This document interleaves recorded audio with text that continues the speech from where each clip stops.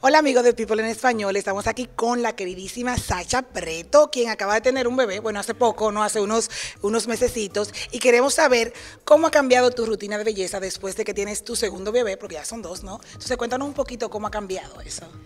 Bueno, yo creo que he aprendido después del primero que uno debe cuidarse mucho más. Eh, creo que con Bruce me descuidé en términos de mi rutina de belleza, pero con Alana estoy siendo mucho más precavida en ese sentido, eh, responsable lavándome la cara en las noches, poniéndome una buena crema, porque pues ya se acerca la bola, la bola de años, y tomando mis prenatales en ese sentido y, y tratando de recordar que pues si uno no está bien, sus hijos no van a estar bien. Entonces siempre creo que lo esencial es en la noche, porque lo que no hice con Bruce fue no cuidarme en las noches y empecé a ver el deterioro en la piel y entonces ahora estoy siendo muy disciplinada con eso. ¿Cuáles son los pasos que tomas en las noches? no? Eh, tienes que levantarte tan temprano y yo me imagino que tienes que poner tus cremitas en los ojos, tus cremitas en la cara. ¿Cuáles son los pasos que haces para que las mamás en la casa sepan?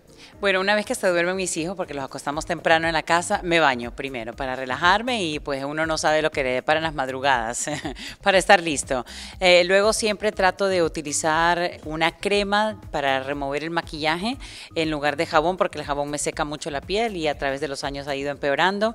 Trato siempre de humectar el área alrededor de los ojos y sobre todo eh, una crema para noche que no sea muy pesada, porque en mi caso con la piel grasosa tiende a llenarse de espinillas o de algunas ronchitas, entonces tiene que ser algo que sea liviano y tomar mucha agua, sobre todo eh, en este periodo y de verano, que aunque ya estamos entrando en otoño, pero vivimos en Miami, donde hace mucho calor, y además yo estoy con el tema de la lactancia materna, entonces necesito hidratarme muchísimo más.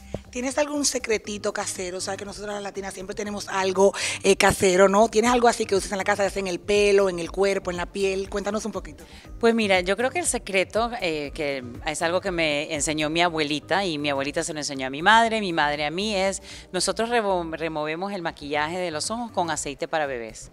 Eh, y es muy bueno porque te lo quita absolutamente todo y no te seca el, la piel alrededor del ojo. Entonces eso nos ha funcionado muchísimo. Ya vamos tres generaciones con eso y yo creo que se lo voy a enseñar a mi querida Lana también. Pues me parece muy bien, así que vayan tomando notas en casita y muchísimas gracias Sacha por estar con nosotros hoy y darnos tus tips de belleza. Gracias.